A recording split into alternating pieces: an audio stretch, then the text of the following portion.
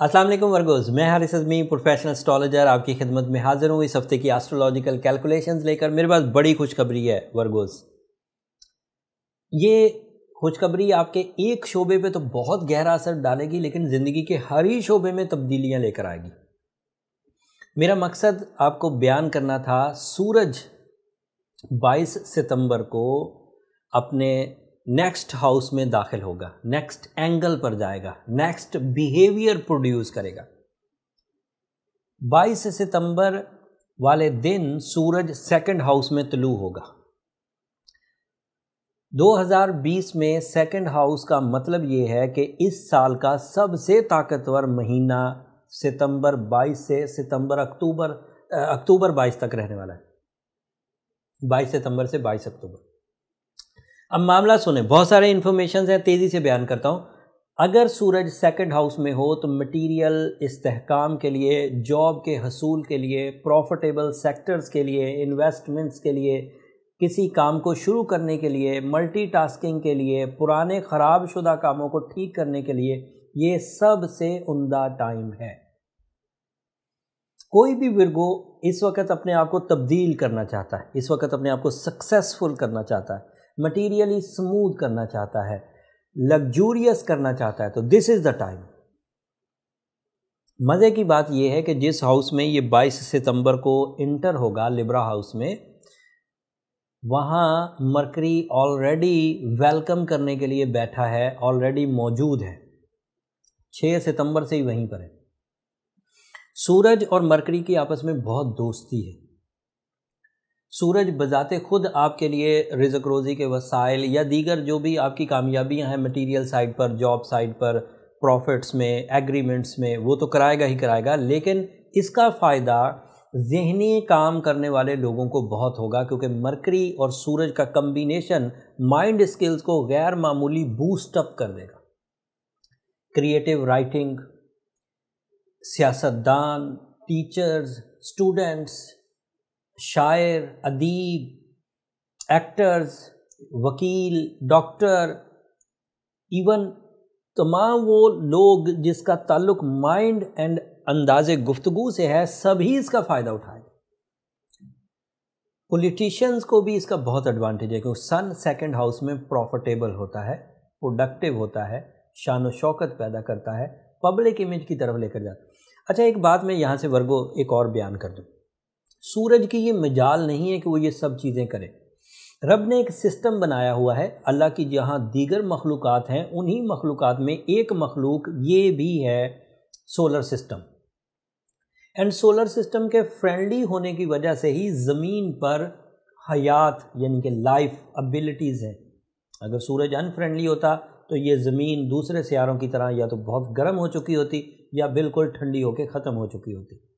लेकिन हमें जितने टाइम का दिन, जितने वक्त के लिए रेस्ट टाइम रात चाहिए होती है, जो अरूज और जवाल चाहिए होते हैं, वो सब हमें मैसर हैं। तो we are stable and smooth in in earth सिर्फ़ friendly behaviour of solar system की वजह से। तो अगर सूरज अगले एंगल पर गया है तो ये भी हुक्म खुदा, खुदाबंदी से ही गया है। अगर वो लाइट दे रहा है तो ये भी हुक्म खुदाबंदी ही है। हमें सिस्टम को समझकर उससे फैज़ हासिल करने।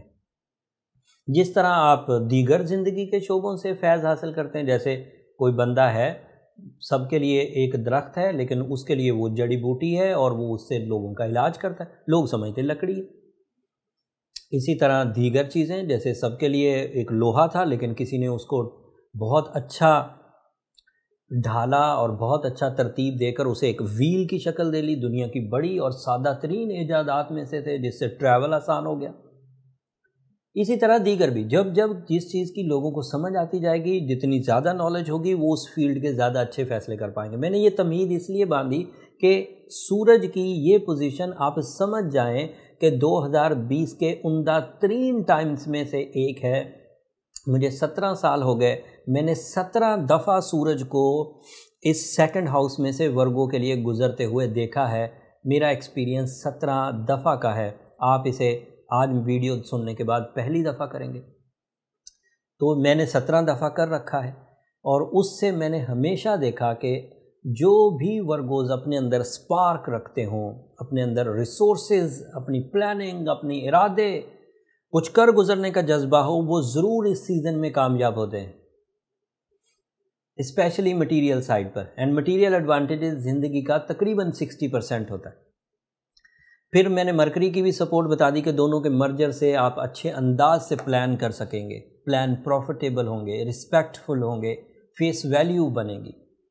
एंड फिर लिब्रा हाउस में जब भी सन जाता है तो आपकी लव लाइफ में भी कुछ इस्तेकाम लाता है, क्योंकि लिब्रा को वीनस रूल करता है और ये उस तरह के एडवांटेजेस भी पैदा करेगा जिसमें लव एंड केयर कॉन्सेप्ट्स आते हैं।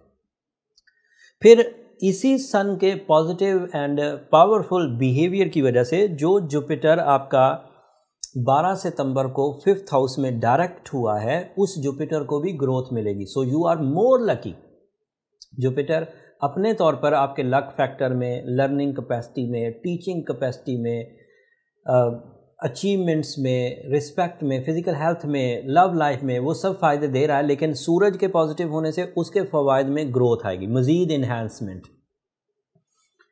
एंड मार्स जो रेट्रोग्रेड है आपका एट्थ हाउस में, जिसकी वजह से आप मुकदमेबाजी में फंस सकते थे, जिसकी वजह से आप लॉसेस में जा सकते थे, जिसकी वजह से आप फ़िज़िकल ट्रबल्स फील कर सकते थे, जिसकी वजह से रिलेशनशिप ट्रबल्स फील कर सकते थे, उसका जितना सिवियर इम्पैक्ट था, सूरज के पॉजिटिव होने से उसकी सिवियरिटी में कमी आएगी और वो एक जर्नल सा नेगेटिव इम्पैक्ट देगा। और वो जनरल सा नेगेटिव इम्पैक्ट मज़ीद कम हो जाएगा अगर एज अ वर्गो आपने रूबी पहना हुआ है या सूर्य शम्स आप पढ़ते हैं या फिर सूर्य यासीन की सेकंड लास्ट आयत कसरत से तिलावत करते हैं।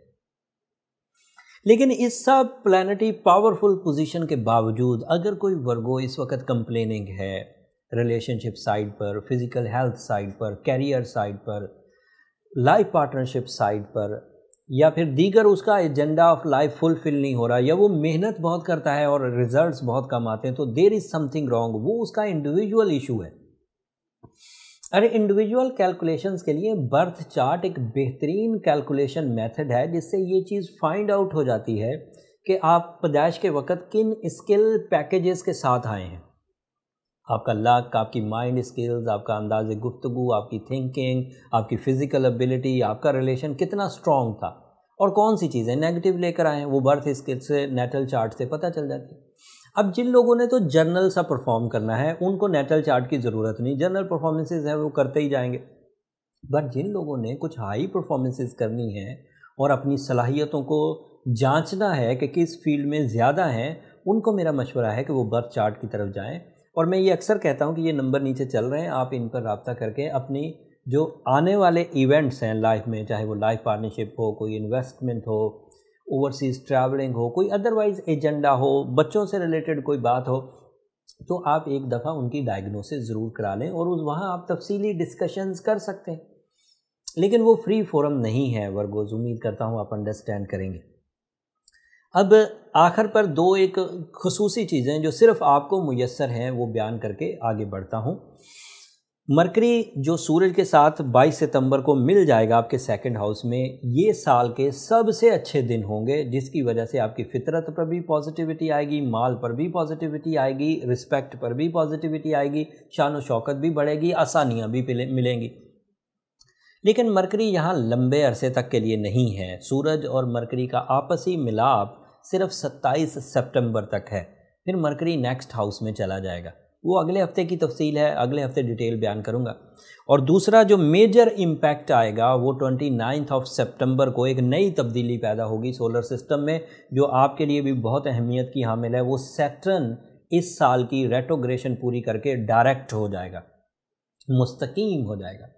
एंड उसके डायरेक्ट होने से आपके ऊपर रीडेबल चेंजेस आएँगी, वो इग्नोरेबल नहीं है। वो तफसील अगले हफ़्ते बयान करूँगा, लेकिन क्लू इसलिए देकर जा रहा हूँ कि जो बेहतरीन सीज़न ट्वेंटी सेवन्थ ऑफ़ सितंबर से पहले पहले अवेलेबल है 22 सितंबर के बाद और 27 सितंबर से पहले पहले, उसको कैश करने के लिए अगर कोई आदमी, कोई खातून या मर्द, कोई जल्दी डिसीजंस लेना चाहता है, किसी काम को वो पेंडिंग में डाल रहा था तो मेरे कहने का मतलब ये है कि वो इन छः सात दिनों में कर ले, उसका रिज़ल्ट बहुत अच्छा आएगा। ये इस हफ़्ते की इन्फॉर्मेशन थी वर्गो। और बहुत सारी तफसील है, लेकिन यहाँ वीडियो वीकली है। मैं इसको बहुत लंबा नहीं करना चाहता। एंड वैसे भी पूरी ज़िंदगी का जो लाहे अमल है, वो इन इस एक वीडियो से डिस्कस नहीं हो सकता। पूरी ज़िंदगी का लाहे अमल तय करने के लिए या कम से कम सालाना अपना जो एक एक तरीक़ाकार अखज़ करना है, वो आपको प्रोफेशनल मीटिंग्स या ऑनलाइन जो आजकल कन्वर्सेशन प्रोफेशनल हो रही है, आप अपनी अपॉइंटमेंट लेके, वो कर, करें तो उससे आपको एडवांटेज मिलेंगे। अब आखिर पर मेरी दो दरख्वास्तें हमेशा की तरह, वर्गोस, अगर मेरा ये कैलेंडर समझाना, मेरी ये रिसर्चेज मेरे ये एक्सपीरियंसेस आपके ज़रा से भी काम आ रहे हों, इतने से भी, आपको कुछ नॉलेज मिल रही हो या आपकी ज़िंदगी में कुछ आसानी की वजह बने हो तो मुझे और मेरी टीम को अपनी दुआओं में ज़रूर याद रखिए। आपकी दुआएँ न सिर्फ़ मेरे लिए इस दुनिया का, बल्कि आखरत का सबसे कीमती सरमाया है। नए वर्गोज़ जो आज नए चैनल पर आए हैं, उनको हम वेलकम भी करते हैं और उनसे ये दरख्वास्त भी है कि चैनल को ज़रूर सब्सक्राइब कर लें, इससे ज़रा हमारी हौसला अफजाई हो जाती। एंड आपको उसके बदले प्रोफेशनल टाइप की कैलकुलेशंस मैसर आ जाएँगी, टाइमली। अब अगले हफ़्ते तक के लिए इजाज़त, अल्लाह ने के बाद।